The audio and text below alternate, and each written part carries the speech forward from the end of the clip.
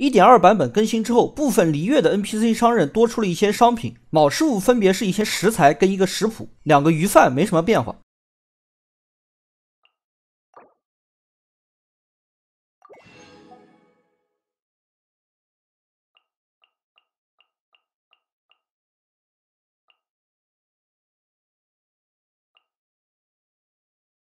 不补炉的阿贵增加的是冰霜花、烈焰花，还有琉璃带。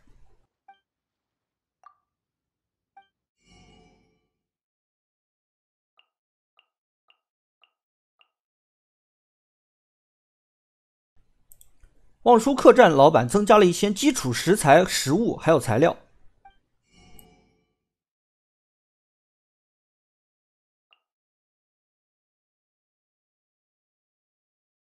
青侧庄磨坊主小白增加了一个食谱，